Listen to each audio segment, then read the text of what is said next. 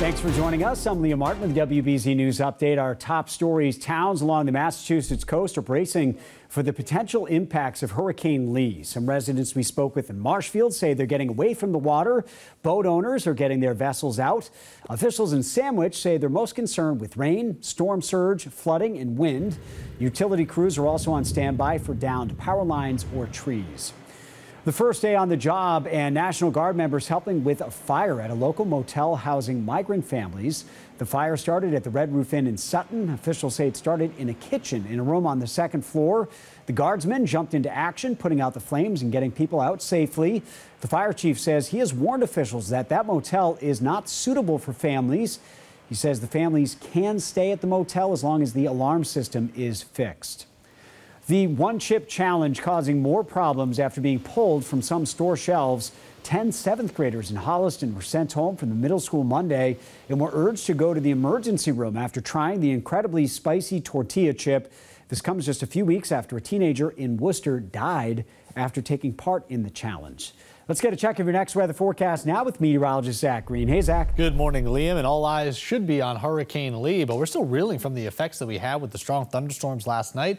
And of course, if September wasn't busy enough, we had some tornado warnings popping up on Wednesday afternoon and evening. And whenever we get a rain event, it's not in the little inches possibility. We're talking serious values three, five, even seven recorded from eastern Connecticut into northern Rhode Island. We were clipping more of that three to four potential in pockets of Norfolk County, but today is the relief that we deserve. Mostly sunny skies taking hold, a breeze coming out of the northwest, and that's going to drop humidity values. Dry air will prevail and will land into the mid 70s this afternoon. An additional day of that on Friday. The difference tomorrow is we're increasing the cloud cover, so it is more of that milky sky as we go into the afternoon hours before introducing the effects of Hurricane Lee, which will be dropping off in its intensity over about a 24 hour period. So we're introducing the rain by the mid and outer Cape and Nantucket a little bit closer to the midnight hour hour. You notice the yellows, oranges, and reds, the downpours lining up farther offshore. So rain is one component. I don't think it's going to be the main driver here. It's probably more of the wind potential as the system